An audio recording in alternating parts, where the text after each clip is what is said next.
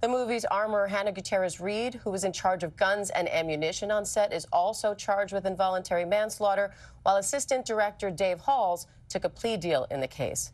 Baldwin was rehearsing a scene with the prop gun when it went off. He's also a producer of the film. And one big question in the case is how a live round was loaded into that gun.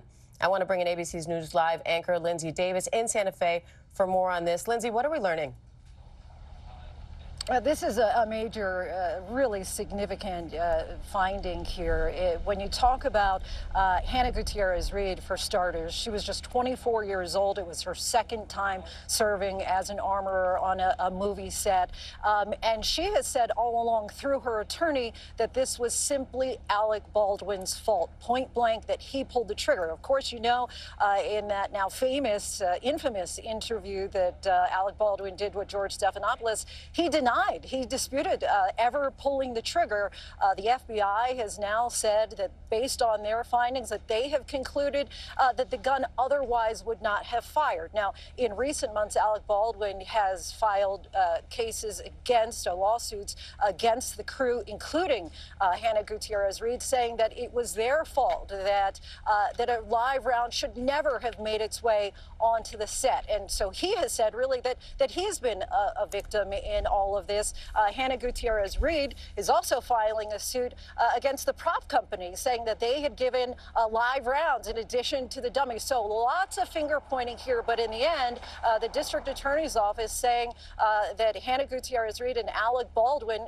should face criminal charges. All along that they had said this could be an accident or it could be criminal or it could be both. And now it seems that they're coming out, uh, rendering a decision uh, that it's both. As for his part, David Halls, who is the associate director here, uh, who uh, witnesses say there's some discrepancy here, but Alec Baldwin says uh, that he actually handed him the gun and said it's a cold gun at the time, uh, meaning that uh, there were no live rounds in it. Uh, however, uh, there are witnesses who dispute that, uh, but in the end, uh, just shocking news for, for Alec Baldwin and Hannah Gutierrez Reed, Diane. Lindsay, thank you. And I want to bring in ABC's chief legal analyst, Dan Abrams, for more. Dan, you say this is the worst case scenario for Baldwin. Oh, no doubt about it. I mean, the prosecutors just threw the book at Alec Baldwin and Hannah Gutierrez Reed. I mean, they threw everything that they possibly could at both of them. In particular, when you talk about these involuntary manslaughter charges, typically in the state of New Mexico, the maximum punishment for involuntary manslaughter is up to 18 months. Well, they have added an enhancement on one of the charges, a firearm enhancement, which adds a potential mandatory penalty because a firearm was involved. The firearm enhancement makes the crime punishable by a mandatory five years. Now, a lot this was discretionary, meaning prosecutors had to decide what they wanted to do here. And they have gone all out in determining that Alec Baldwin and Hannah Gutierrez Reed are criminally responsible. I'll give you one more quote from them. They say the evidence clearly shows a pattern of criminal disregard for safety on the Rust film set in New Mexico. There's no room for film sets that don't take our state's commitment to gun safety and public safety seriously. Now, let me add one other point here, which is the next step in this proceeding will be a preliminary hearing, which will be a kind of mini trial where a judge will determine is there enough evidence to go to trial.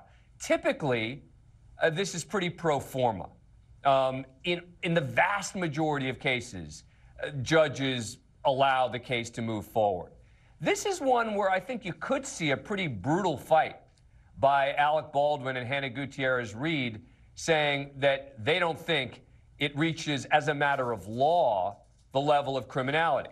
Still a long shot for Alec Baldwin and Hannah Gutierrez Reed, but that would be the next step in the proceeding.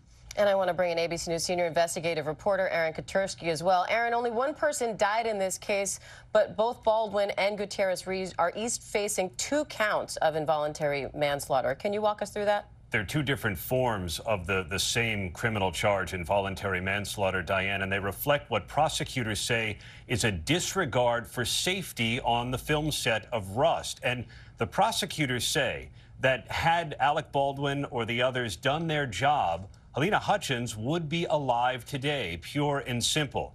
prosecutors, at least in this announcement of the charges that will formally be filed by the end of the month, do not answer the questions of what exactly happened, how did a live round get into the gun, but they say that had Alec Baldwin done his job, Halyna Hutchins would be alive today.